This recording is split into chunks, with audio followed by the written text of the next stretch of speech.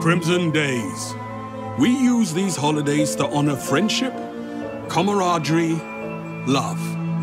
For those of us lucky enough to find it.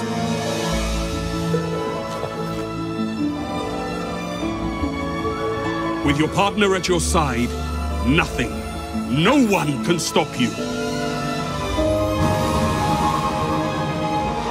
If anyone ever asks you who brought you two together, you tell them it was me.